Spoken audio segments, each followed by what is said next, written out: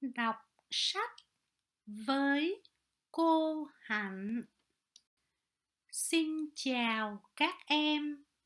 Mời các em đọc sách với cô hạnh và bambi.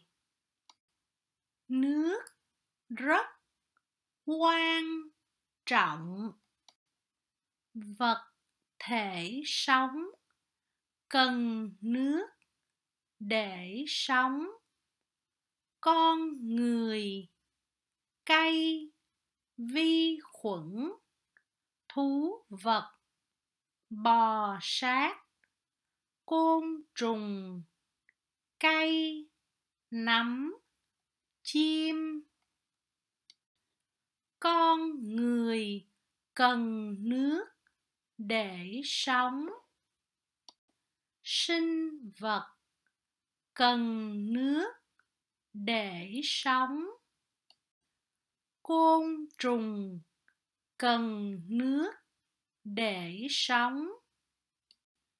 Thú vật cần nước để sống.